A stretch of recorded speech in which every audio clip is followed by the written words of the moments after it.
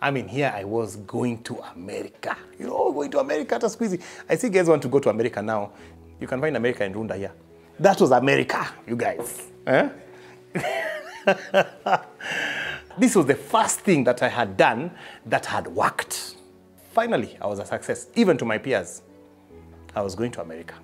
So I was trying to do all manner of things, trying to find the, that, that particular job, that one that will kick. So eventually it did. This job was hefty.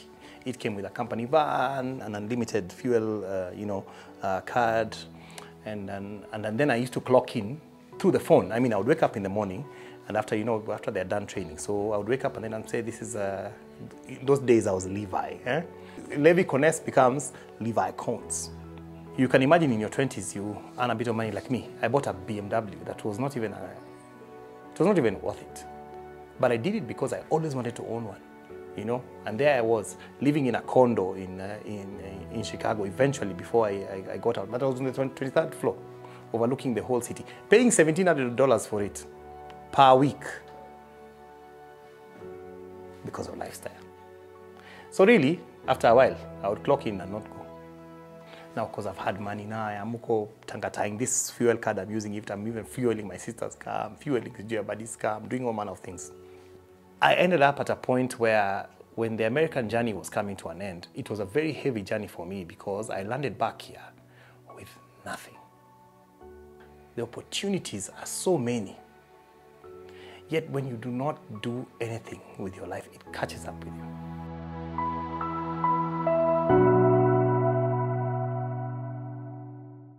Hi, my name is Levi Kones. I am uh, a father, a husband. I'm an author. I'm also a journalist. I recently wrote this book called There Is No Useless Experience, which is basically many stories of my life combined together to bring in some lessons. For example, I talk about, uh, you know, my childhood and knowing your value and how you can be misused when you're young and in your 20s. I talk about how I went to the US and the things that happened there and how I got deported and came back. I talk about how I battled with cancer and what happened in my cancer journey, as well as what has happened with me and the issues to do with weight loss and fighting weight. I also speak extensively about matters to do with self discipline, as well as matters to do with making money, you know, solving your problems by making money, as well as the interaction of social media and how I almost, or is it almost, or became, I think I'm banned from Rwanda. An interesting uh, uh, story because of a tweet. Anyway, those are some of the things I talk about in my book, and let's get into it. I grew up in a family of four. Uh, I had one elder sister, and we were three boys.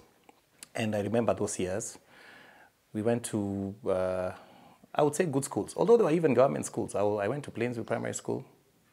After some point, I think my parents were really looking for, like the you know quintessential middle class family. They're always looking for that thing they can give their children better. And we went to, and I went to uh, Khalsa. And when I was in Khalsa, I got into a bit of trouble, and, and I had to be removed after a week.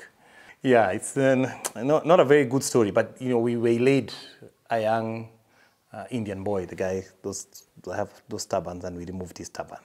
And apparently, that's uh, quite a taboo. So uh, the Asian community was up in arms, and my dad, I think, thought something would happen to me, and I was pulled out of that school. At some point in class seven, when they realized that I was getting into bad company, you know, hanging around matatus, the, the manyangas were then starting to come around South B playing loud music and all that.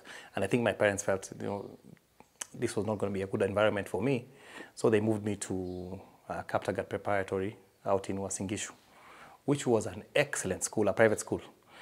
I mean, this school had a swimming pool, it had horse riding, it had, you know, you were eating sausages in the morning. It was something else. And I began to mingle with children I had not mingled with before, who are what I would call, you know, the high class type. Uh, I should say this. I was in a Christian home with very strict conservative values. You know, we were not allowed to do a lot of things. You know, I couldn't even do a box. You know, which was the most famed hairstyle at that time.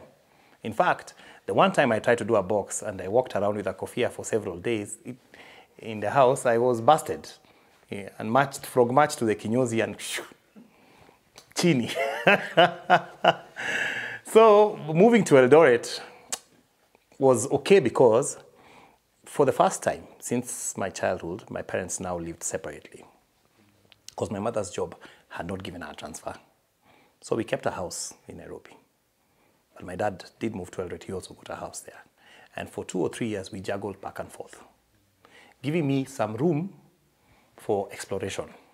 So about my father, um, we nicknamed him Saddam, me and my sister, uh, because uh, at that moment in time, Saddam was, Hussein was bombing uh, Kuwait, and we knew him as a dictator, a tyrant, and that is what we had attributed uh, to my dad. My dad was that guy who his things had to work out a certain way. It was a more like a military style of thing. eh. He, and I think in some ways it's good. Some things rubbed off on me, honestly speaking, because this guy he paid his bills on time. He came to school when he was needed to come to school. He paid school fees on time. We were never sent home. Uh, you know, for things like school fees arrears and all that. But then he also looked at your work. So you came from, from school, he wanted to see what's your homework like, what have you done, who, who are you hanging with, and you know, what are you doing with your holiday. You had to give him a timetable for your holiday. So for us, it was a, it was a military, you know, environment. Hence the name Saddam. Now, in terms of relationship uh, speaking, did we do anything really for fun? No, not much. I'll be, I'll be honest. We, we would never be caught like watching TV together, for example, because he would have something to say about programs that were not Christian, you know? And uh, as a result, I think there was that kind of drift between us uh, in terms of us. And I remember one time my, my sister had a coffee written uh, Chicago White Sox. And for some reason, my father read it as sex. Oh, I tell you, it was crazy. Either the somos we used to get and the, and the biblical teachings, it was, that was what seemed enough at that moment in time. And uh, I also remember one time I was watching a movie called uh, Passenger 57. It's a Wesley Snipes movie. It's really basically about, you know, Wesley Snipes, he goes into the airplane and he's, all, you know, kung fuing and high, you know, kicking everyone. And finally, you know, he, the plane has been, has been hijacked, but he takes it back. And my dad walked in and I had not noticed. And I was watching this movie and he said, what's that you're watching? And I said, ah, it's a Passenger 57. What's that about? Oh, it's this guy. He goes, he hijacks the plane. There- There's some hijackers who take the plane and then he's taking it back from them. I'm done. Then he listens and he's like, hmm, so you want to be hijacker now? You know, unazima tu TV unaenda, you know. So it, in, in some ways, I, and I think many parents were like that, and I don't want to blame him because I think that was all they knew to do at that time. Given the fact that the world was also changing for them, much as it's changing for us as well, things were coming in, you know, these hairstyles were, were, were changing, uh, rap music was just, and hip hop was just also uh, uh, coming alive. No one was really understanding the, the language of Sheng. I, I can actually uh, relate now as a parent with what was happening. And the only way they knew how to do it was to throw, you know, the good book at it and throw the Christian principles. And I think that's what was happening with him. I, I, was, uh, you know, resilient because I thought that, you know, some other homes I could see, the children were doing much different things in their particular homes. You know how those homes where guys are high-fiving their dads and they're all joking around with them and, and, they're, and they're going on trips. We went for one trip to Mombasa and that one trip, I remember it very well. You know, you know, my, my dad was in trousers the entire time and actually in a kaunda suit on the beach. So it's, it's you, you, because I don't think he wanted to uh, show his legs, that would be uh, another story altogether. So maybe there was a taboo in that. but you know, the, as, a, as a result, the resilience came in in various forms because when I was in Form 1, uh, in my first term in Form 1, I got suspended, which was a big deal because first, it had never happened in the school I was in. And secondly, I was a Form 1 student. I mean, how does a Form 1 student get suspended in the first term? What did I do? What I did was, you know, I got involved with uh, some uh, elder students, Form 3s, Form 4s, who, because we were in a mixed school and they were going to visit uh, the girls' uh, dormitory, they needed somebody who was a lookout. So there I was, assigned uh, the, the job of a lookout as a, as a mono, And I climbed up a tree. In fact, we were two of us. And uh, our job was, you know, basically, kama kuna noma, you just say, cuckoo, cuckoo. So before we cuckooed twice, we had been caught by the watchman. And from March to the, to the headmaster's uh, office, the principal then. And we, it, because it was a few weeks to the end of the term, nothing much was said. You know, we were caned, the usual slasher, you know, you do all those kind of things. But when I went home uh, from school, because my sister was in the same school, she was given a letter to take to my dad. And that letter was a letter indicating that I had been suspended. I should come after two weeks when schools reopen with both my parents. So that letter was really the beginning of a major division between me and my dad, I think, because uh, I think by that time he was really disappointed. And the way he reacted to it is when he came to school, he, he caned me in front of the whole assembly. Yeah. Which never improved relations between us at all. I think it was overkill because it was like, you know, he told, he actually volunteered, you know, the principal watcher, let me deal with this. I think he really wanted to smash that resilience that he was noticing. But in, in, in the process, I think it triggered something else in me in terms of just being defiant, especially not just to him, but to even what he was propagating in terms of, you know, uh, Christianity, in terms of uh, the Bible, the love of God. It was just like, that left me. I, didn't, I never joined the CU, for example, for the four years I was in high school. Never did. Yet my father would come and preach, even to the CU. I was never a member. I, th- I think the Kiboko has its place. I'm not one of those propagators who think that, you know, that, you know, don't, don't ever yeah, use the Kiboko. I think it also has, a, how do I call it, a shelf life.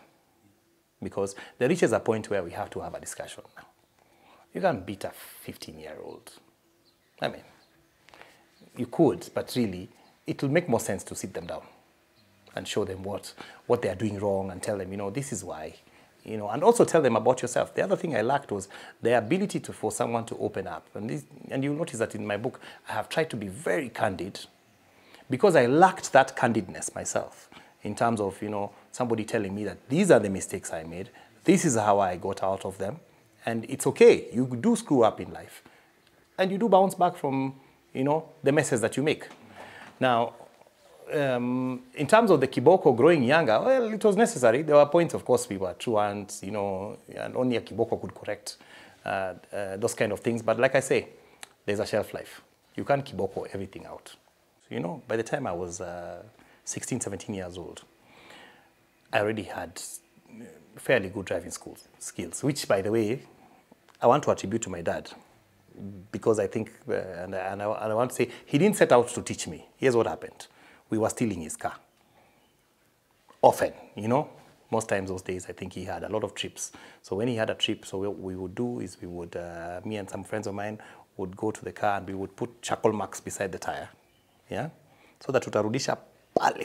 You know, you know, it really helped our parking. By the way, we there's very few parking spaces I cannot get into as a result of that. Sometimes, you know, those people will say, ati, ati, kuja, kuja, boss, kuja, boss. I'm like, sometimes they're like, boss, I got this. Anyway, so we would steal the car and then we would bring it back. And it wasn't overnight in the beginning. It was like on an afternoon that he's gone and we are all testing. In that testing, changing of gears, because those days it was only manual cars, was a major problem. So this one time we came up, and this was before now we moved to uh, Eldoret.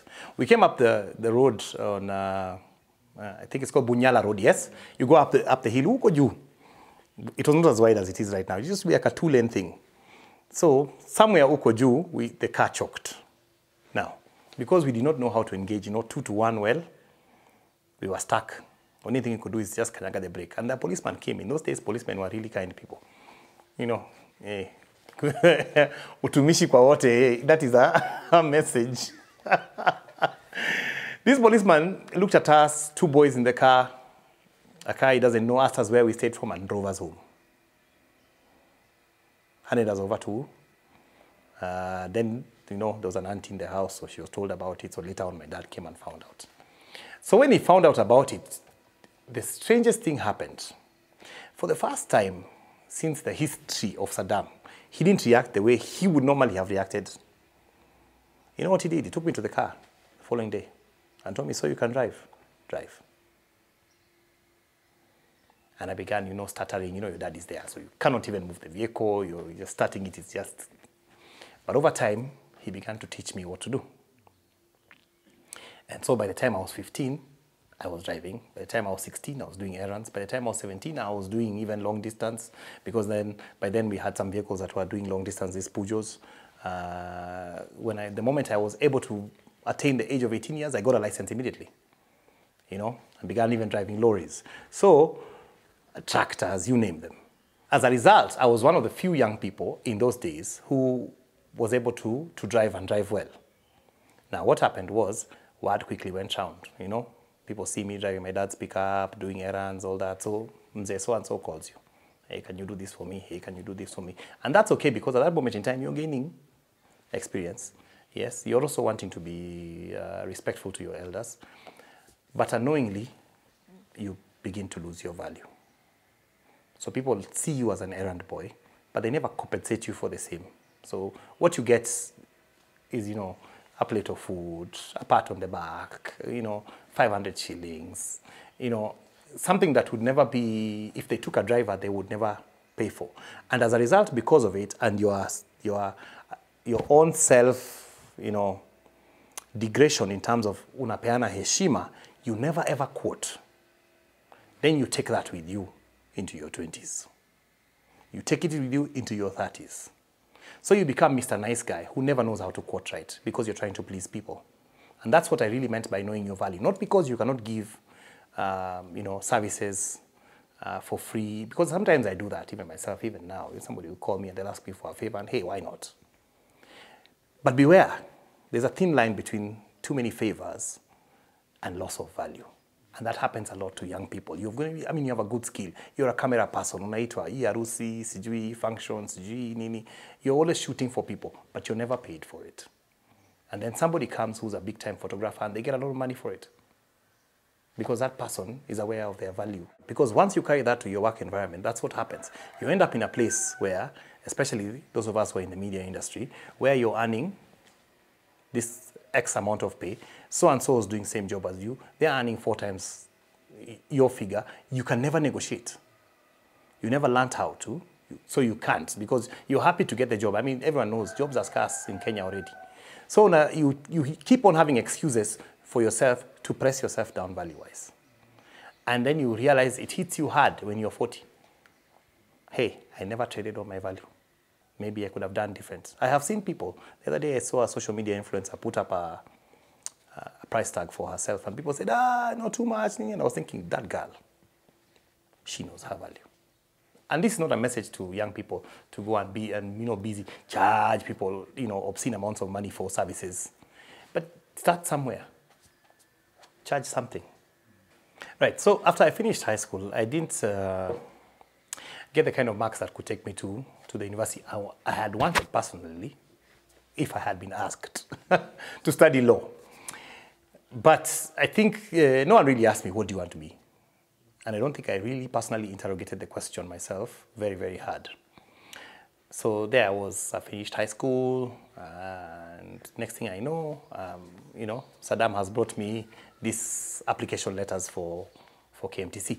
Um, not application really. He's brought me a letter telling me I've been accepted into, into KMTC. So there I am, admitted to KMTC Nairobi to do clinical medicine, to go and be a, a daktari. You know, even, even clinical medicine, wanasemaga daktari tayari. Or you're on the way there.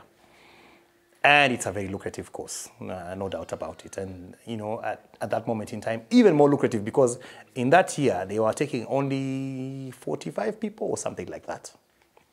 And the, and the matter was not lost on me. It was said even in the prayer meetings as we were going, you know, Father, you know, he was among the 45 and all that. So, so I went to, I uh, came back to Nairobi to, to go to KMTC. First lesson was anatomy, physiology. I hated it. I thought this is not the thing for me. You know, there, I don't know. There are those things you just start and you know over here, I don't belong here. But I kept at it for a year. And for that one year, I didn't do badly, but in the second semester, I was done. So, so I think instead of me sitting down and you know telling my dad I could have done this or that or the other, I began just to be a truant in school. I started missing classes. At that moment in time, my mama had also moved to Eldoret, but uh, we had kept a house in Nairobi, so I was using it, you know, for uh, to go to school and also for my own uh, uh escapades to throw parties in it and things like that. So, of course, you know, the proverbial 40 days came and the, and the exams came out, and there I was. I had flunked, you know, uh, horrendously, and I was supposed to do a supplementary and repeat the year. I refused to do that. And my dad's like, what do you want to do? And I'm thinking, ah, shipping management. So off I went to do shipping management. Six months in, not the thing for me. I jumped out of that one. I did another business management course. I jumped out of that one. So by the time I was going to the US, which was the year 19, in early of 1999, my parents were just fed up with my stories. I was that guy who just did not know what I wanted to do. My sister had gone a year earlier, and she, you know, my sister was more structured than myself. She got out of high school, she got into Baraton uh, University, she started studying, got there two years in, she got a, a scholarship to a university in, in the US, and boom, she transitioned to go and do biochemistry. Serious things, you know. and there I was, ah, Joker me doing all the manner of, uh, you know, hop, skip, and jump. So uh, she sent a letter from there to me telling me apply, apply for sports medicine in this university. So sports medicine, did I know what sports medicine was? Ah, there was no Google and no time to find out. But hey, sports medicine it is. So I applied. I got an I-20 from the uh, University of Washburn in Kansas. And, uh, and then I got an, uh, you know, an acceptance. Then it was time to go for, for, for the visa. So when I had the acceptance, I showed my mom, I told her, hey, naitwa visa, you know, facilitate this thing. I don't think they believed I would get the visa to be honest. in those days, you know, the 1998 bombing had just happened and the American embassy had moved to some makeshift structure up on Mombasa Road, somewhere.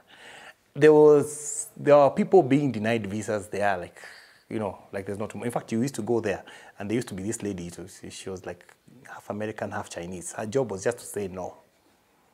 I think she was put there for that particular that particular story, I that lady was telling guys no. And you know, they and, they, and they're saying no and they have a loudspeaker. So, uko counter uko tu naulizwa tu, ah, so what are you going to study in America? I think she had an accent and like a Chinese one there also. Uh, blah, blah, blah, blah, blah. No, come next year. So when it got my turn, you know, I was, you know, you, you are looking and you're thinking, there are at least three counters. The hope is that as people are moving and you can see your number is about to come up, you don't end up at the no counter. But that's where I ended up. You know, I actually even did I, I'm like, ah, yeah, what will happen? So I ended up there. And she asked me, she told me, uh, what are you going to study? I said, sports medicine. Do you know what it's about? I said, yes. What is it about? I said, oh, it's, uh, you know, it's medicine that is uh, uh designed especially for athletes, uh, ligaments, injuries, those kind of things. She says, um, okay, do you play any sports? Yes. What do you do? Swimming. What are your favorite uh, strokes? I told her. So she asked me, what strokes are there in swimming? First of all, I said there are four strokes. Ah, backstroke, breaststroke, uh, you know, uh, freestyle, and uh, fly, you know, or butterfly. What's your favorite? I said freestyle. Or crawl. It's called crawl as well. She's like, hmm, I see you even know the slang. I said, yeah, come for your visa too. Same day, come for your visa too. Those days, visa inapewana hapo. Hey, bro, I left that place, you know, singing hallelujah. I mean, here I was going to America. You know, going to America to squeezy. I see guys want to go to America now, and the squeeze of America was America. Say at America, yeah, squeezy. Uh, we can we can see it on TV. It's not. You can find America in Runda here. That was America, you guys. Eh? so anyway, I went I went home with my passport with a visa stamped all the way to Eldoret. You know, uh, of course, uh, yeah, they, they, they called, the, you know, a celebration, prayers were held. My former principal, the late uh, Sami Gashingishi, is the one who came to pray for me. you know, my, he was my principal at Kaptagat, and he was so happy. He was like, uh, you know, you go, you go get him, Nini, what? And a fundraiser was held. Money was changwad, although it was not, in those days, people never used to changa so much money. It was just enough money to buy the air ticket. They give you the air ticket, maybe you get the first semester, then you go. So you're going to the land of plenty. Tajipanga uko. And it, wasn't, it was never a big deal. People used to know all you just need to do is just get that money and get out. Nowadays, I hear people putting a big story, oh, they, oh, you, they want 5 million shillings from who? you want us to pay for your four years, wewe wacha mchezo. Eh? Enda ujipange. So, this was the first thing that I had done that had worked. You know, you can imagine all the other things had not worked well. Here I was, I had left high school and everything else had failed. MTC had failed, uh, KIM had failed, this shipping management school had failed, and here I was now finally with a visa in hand. Finally, I was a success, even to my peers. I was going to America. There was no beating that. But you know, before I went to America, something happened. And uh, we went for, my friend and I, uh, I think he, he'll appreciate me naming him, Herbert. He's still my boy. Herbert and I went on a, you know, on a throwdown party for a, a farewell thing, really. We were in Nairobi, uh, like the day before I left, and we went for a party and I was taking concoctions. You know those things they, they, they bring you, CG, pina colada with what, CG, you're trying all those things because you know you're about to fly out. And I got drunk. And it was in the afternoon and I'm flying out in the evening. So I'm so drunk by 4 p.m. My flight is at 10 p.m. And uh, we were, you know, doing this farewell party at my, my auntie and uncle's house in Nairobi, in Apo Funguo Estate. So really, by the time I got home, everyone kind of knew. I mean, the boo, the smelling of the booze, the, the behavior, and my dad had put his foot down and said it's not happening. But my uncle and my aunt prevailed upon him. You know, said, please just let the guy go. So nikapewa maji, kunywa kunywa maji, poesha nini nini. And by nine o'clock I was somewhat steady enough to be taken to the airport. So it was a very quiet ride to the airport, that's what I remember. Uh, very shameful, of course, because here I was going to America where people were just celebrating and all that. Here I was drunk, what, and leaving the same day. And that is how I left. With all that had been going on in the day, all I wanted to sleep. And I woke up only to the announcement that we were landing in Paris, Paris, France. And it was from there that the reality, you know, now you're sobered up, the reality hit me. I really messed up on my, on, on my leaving. And you know, in my, in my book, and that's why I say sometimes, that sometimes in life, the messes we do, you know, the screw up is right at the beginning. Because with what happened in America, the, you know, a bad start became a bad ending. You know, landing in America was already an experience. I landed during the snow. You know, first of all, ni mambo ya snow, unaangalia, hey. I, I remember the cars looked all so new, you know, coming from the airport. You're here, you can see some very rickety vehicles, eh? Things watu wameshikilia paka na makamba ni nini, hakuna hiyo story. Hakuna moshi, sijui mbaya mbaya. Like, I, kweli, this is the place I, I needed to be. And uh, of course, once that bubble wore off, and because I was landing in November and my schooling was in January, I spent a lot of time in the house. So initially, it's the excitement of watching all those soaps that you had. Because those days, the soaps we were watching in Kenya were behind by some years. The ones in the US, the latest ones. So you're watching them, and then you're calling back home and you're saying, hey, you know what has happened to Ridge Forrester? Asha achana na you're spoiling for, the, for guys back home telling them, sana, those kind of things. And also, I ran up quite some huge phone bills because I kept calling back uh, talking to my friends. Those days I had a girlfriend in Kenya who I was calling a lot.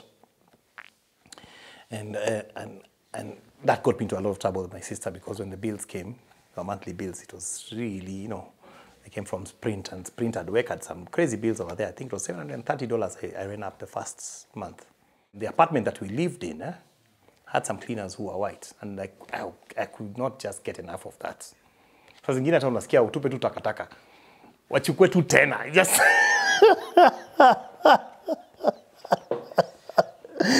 ah, just because, by the way. so anyway, those months went by in a blur. Of course, school started and the reality hit home. You know, now I have to start learning and stuff. And I began learning.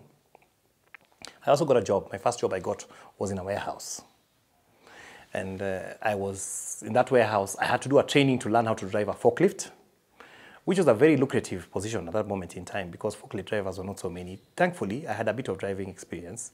But you know, with forklift, it's a little bit different. The gear works and the stuff and the fact that you have to put the pulleys up and down and make sure that you swing into tighter spaces and stack up things. But I got really good at it. So because I got really good, I got so many hours. As a result, I began to see now my own money. Ah, that money changed me. Ah, earrings. I still have holes in my ears. You know, sometimes my daughters want to, you know, the other day they were pushing something through here and it entered.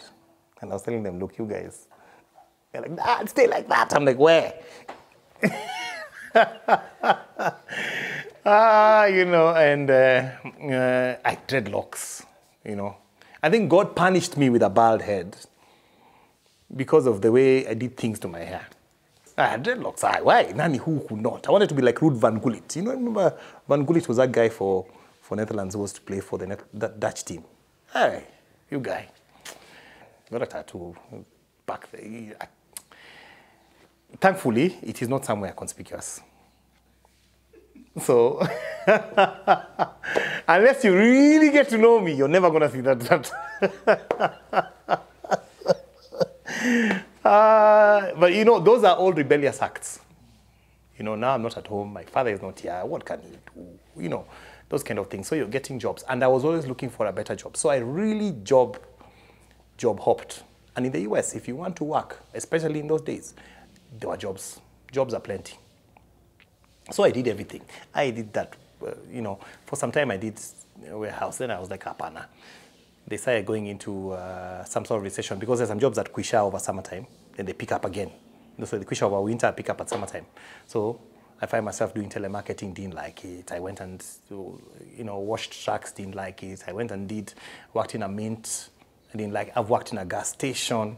I've worked in a, you know, an old people's home. I was taking these old guys. We used to go watch movies. You drive them back in the evening. So I was trying to do all manner of things, trying to find the, that, that particular job, that one that will kick. So eventually it did. I got a job with a, with a Coca-Cola Mid, Mid-America company as a, you know, uh, first as a sales manager and then a territory uh, sales manager. And that job was awesome. It, first it had a salary, which was not something that was, uh, you know, usual. Usually you'd be paid every week. Salaried people were called the moneyed people because they would get money like every two weeks or every month, but it was hefty. This job was hefty.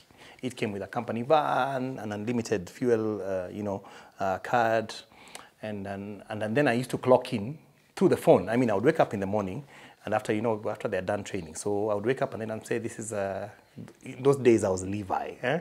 because I was unajua ukishafika ukishafika ng'ambo mambo inabadilika levi Kones becomes levi cones so i was levi cones so, i'll be calling in in the morning 6.45 a.m i'm like this is levi clocking in you've clocked in by phone now your job is to get the van go around uh, all the, all the like if it had stalls like the way we have got some supermarkets eh? so you go to all the supermarkets to make sure that your brand is you know put in the right places, it's displayed well. There's the sales managers who are there are doing their jobs. You know, if there is an issue with uh, lack of whatever brand, and Coca-Cola has got a lot of brands, more brands than we've ever seen here. In fact, some of the things, you know, Minute Maid is a Coca-Cola product. Yeah? And Coca-Cola has got some flavors that are not, especially in Fanta, that I've never seen in Kenya. So all these brands had to be, to, to, be set up and you have to follow all, all, of them. If there's an issue with a brand doing badly, you have to take notes about it. So that was my job during the day. But I clock out at 3 p.m. by phone. So really, after a while, I would clock in and not go. You know, I'm clocking in, I'm in another state even. Now, because I've had money now, I'm tangatying this fuel card I'm using it. I'm even fueling my sister's car, I'm fueling the buddy's car, I'm doing all manner of things. And I was never busted with that particular issue.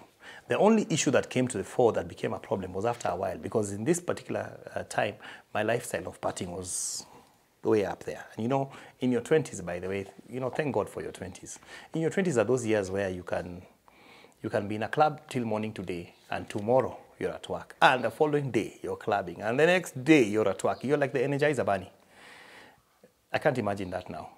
Nowadays, I sit even till 1 o'clock drinking tea and I'm recovering for half the day the following day. You know this. inafika 9:30 you're like ah, eh? you're getting older. You're planning things around your sleep. You're like um, tutafika home saa nne ndio tulale mpaka 4 o'clock. You're calculating hours of sleep. Who was doing that? You know? And i'm telling you young people hii youth is bliss my brothers and sisters. It's quishaing jifanyeni tu hapo. So here I am doing that. You know, Thursday night I'm in a reggae thing. Friday nights you we are we are doing hip hop somewhere. Saturday night you're doing karaoke, and that lifestyle is continuing and continuing and continuing.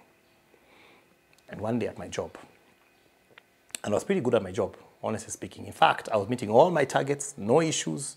But the thing that was suffering was schoolwork. In fact, after my first big paycheck came from Coca-Cola, I just looked at it and then I thought, see, this is why we go to school. Si tunaenda shule na do. Sasa shule. I quit school in a half and a puff. I didn't say I quit. I just stopped going. The school looked for me. mhm, They kind of gave up on the story. In this day and time, you can't do that, by the way. You quit school today, even one semester, you're going to be back home on the weekend flights. Hakuna jokes. I think people like us really messed up for the guys who are there, Poleni. Poleni. We messed up. I was there on what is called an F1 visa. It's a student visa. It's not, you're not even supposed to work so many hours. It's supposed to be 20 hours. But you know those days what would happen? You'd get in, then you get someone to make for you a social security card. They'd give you the number, but then the number would say not allowed to work. So somebody else would make you another card. They would remove that cabana says not allowed to work. So then with that one, anytime you present it, you look like an American citizen. And no one questions your citizenship at all. So you get jobs Americans would get, like this one at Coca-Cola. Until they wanted to do, they had a change of management, I think, or something like that. And then they wanted to just review employee files. And they said, oh, as you bring your, your, your paperwork, please bring proof of your American citizenship. And then that day I went, you know, I was told at work by my boss, so I, I thought about it and then I went home. I thought about it. I told my sister, this is what they want. They want the American citizenship. She just told me, hey, you're cooked. Now, you see, if I don't provide proof that I'm an American citizen, it means I've been working illegally. If I've been working illegally, that's a federal offense. That's jail time to begin with. It'll end up in deportation. So, what did I do? I opted to resign. I had to resign. I had to resign from the job I really wanted, you know. So I wrote a resignation letter and I moved out of state. Went to visit, went to live with a friend. The friend I called, I told him, okay, I'm coming. And he lived in uh, uh, Uh, Atlanta at that time. And packed my bags, put them in the, in the car, told my sister, adios, going to start a new life. And that's how I found myself leaving the, the backward state of Kansas for Atlanta, Georgia. You know, which was really fast paced and really different from what I'd been used to, and full of blacks, as opposed to this predominantly very shags modest town had been. So if, if, if, if Kansas was, was fast in terms of getting jobs, then Atlanta was really the place to be. Although the costing of living was very high. You know, getting an apartment was much more expensive than uh, Kansas. So I was living with these two friends. Uh, one of them was from back home in Eldoret. She gratefully, you know, uh, is the one who actually hooked me up. The other guy, I met him there, Kenyan, who had been there for many years, is still there. And uh, the two of them were also quite, uh, you know, uh, the party animals. So for some time as I was looking for a job, you know how it is ukikaa na watu, unatafuta job, but uh, the more you're not getting a job, the more the more mnaenda kugwaruzana. So it reached a point I had to move out. But as I was moving out, I got a job with uh, a gas station, which was not a big job. You know, ile job kwa, no, no, you're in a petrol station, you're the guy at night who is, you know, telling for people things and stuff like that. So I worked there for two weeks and I was earning like a fraction of what I used to earn. So even the house I got was in a dingy part of Atlanta. But then something happened. Some guys came and uh, gave me an idea. They were like, hey, gas station unafanya kazi hapa. You know how Kenyans are. Si uchanuke boss. Uza pombe zako. So I began buying now from a supermarket, put in the gas station. I sell my own beer instead of the instead of the, the and I made a lot of money. It's, it, it actually financed my lifestyle for a while. And uh, that situation at Atlanta did not last long. Uh, I, I, talk about it quite at length, uh, you know, uh, in the book. And I talk about the, the, aspect that, you know, I got into a relationship at that point in time also that didn't also go very well. And then I ended up in Chicago. And in Chicago, I, you know, moved there predominantly because there were some two ladies who were moving out of Atlanta to Chicago. They, you know, we had met each other in the social circles. They're like, oh, so we can move in together. Those says, let's look for a house. I'm like, I'm game. I mean, I'm that guy who's just going, you know. And this is like uh, four years into my uh, American stay. So we moved into Chicago. I got a job with Motorola Company.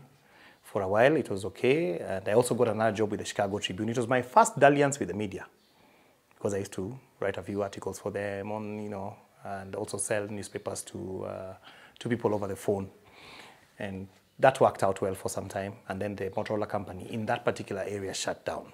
They moved their plant somewhere else. So there we were, jobless again. It was at this point that, like the prodigal son, I began thinking maybe I should go back to, to Kansas. And I began talking to my sister. Said, you know, maybe I should come back there. Maybe we should restart this thing and look at it a little bit differently. You know, because the partying lifestyle had not ideated me much. And uh, things had not worked out so well. So you can imagine in your 20s, you earn a bit of money like me. I bought a BMW that was not even a. I mean, that, that car costed me so much in terms of parts. It was not even worth it. But I did it because I always wanted to own one, you know? And there I was, living in a condo in, uh, in, uh, in Chicago eventually before I, I, I, got out. But I was on the 23rd floor, overlooking the whole city, paying $1,700 for it per week because of lifestyle. I think, by the way, if we go and look at my kuna kuna omera something huko ndani somewhere. Yeah? Maybe it's a coffee. You know, some guys think I'm, I'm from the lakeside, but there is like a something. Man. My wife keeps on telling me, wewe ungekuwa wewe. I'm like, because she says I'm a, I'm a spendthrift. Although I'm trying. You know, when you talk about pressure from back home, the, one of the things I thank God for was that social media had not taken off the way it has now. You know, we would write a letter home, then it would arrive after three weeks. Then they write a letter back to you, then it's after three weeks. If you really want it to get quickly, you've got to FedEx it or to, you know, DHL it. And uh, you'd send your own pictures, you know, we would send pictures, the ones we've selected. Imagine if social media was there. Imagine it would be double the expectation in trying to prove things. Because even, even then, we were sending pictures of our cars. Hey, I bought this car this is where we live, this is what, and you're selling it to your bros. So my brother wanaonyesha kijiji yote inajua eh, kuna brother ya our same as eh, he's doing things in the states, and and and that of course is a is a is a thing that is also is also driving you the aspect of you're not home, you really want to uh, prove a, prove a fact. But then there was also the thing of proving Kenyans to Kenyans right there, and they have it quite a bit. I mean, guys will go and rent vehicles and come and come to a party and uh, try to show off and pull it off as it's, it's a new car for themselves. Because you know, unlike here, you can rent a pretty brand car and show up with it. And you can make it look like yours. So umetoa hiyo makaratasi insurance. And some of those cars are not even branded. The only thing that will tell you it's an insurance car is if you open the dashboard and look at the insurance. But even if the guy removed it there, you never know just tell you I bought this car, I'm doing well, nini, nini. And the guy is going back to a shanty somewhere in some state. And there's always that thing we're always trying to prove. In fact, I remember one time I had tell another friend of mine, Maze, Maze tuko ng'ambo wote. Unajua kuna ule msee anaringa mpaka unamwambia boss, tuko ng'ambo. We're both here, you know, there's look around you. This is America. My goodness, I can't believe, you know, you've asked, have I been able to do something tangible for myself? Good Lord, nothing. You know, one of the greatest regrets of life is the misuse of the 20s because the energy is abounding. You know, the ability is there, the opportunities are so many. Yet, when you do not do anything with your life, it catches up with you. It really does.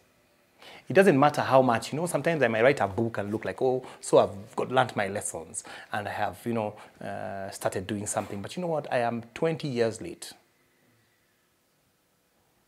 You know, what I will, what I can only do now is play catch up. But I can't get it back. There's always, there's that, there's an effect that is long lasting that is ungainable. Let no one cheat you at oh, sijui inarudi 50 times 50. No, not that easily. They still, you know, the consequences. The Bible tells us what? That the, the wages of sin is death. There's a cost for the things you're doing, and that cost has to be met. It's either met by your inability to function the way you would have functioned. Like I tell you now, oh, I'm no longer 20. If you call me right now and tell me that we are going to do something till 4 a.m., I'll have to structure it. You know, there's a cost. I can no longer do that and tell myself ati Monday sijui itakuwa wapi, Tuesday nitakuwa paka saa Wednesday. Recently I was busy just I, I went to Nakuru, came back, went to Mombasa, came back. And then I was sick for three days. Now, you tell and, and it's not sickness that's tangible. Unajua unaenda kwa daktari anakupima pima nini nini like you know what? End of pumziki. Now you're fatigued. Now, imagine those are rich people problems. What is that? so there's a cost to these things. So did I do anything? No, I didn't do anything. And that is how I ended up at a point where when the American journey was coming to an end, it was a very heavy journey for me because I landed back here with nothing. Okay, so the events that led to me coming back. Ooh, tutaanza story wapi? that is a very bad story. You know, they, they, uh, you know, can I just read from the book because because I feel sometimes, you know, sometimes I want to tell myself, did that really happen to me? And you know, you, kind of said it's like a, it's like a movie. At that point in time, it doesn't sound like it's a movie. It's a reality. Only that when you look back, you're like, wow, really God, wow. So anyway, this thing started with me wanting to go back to Kansas.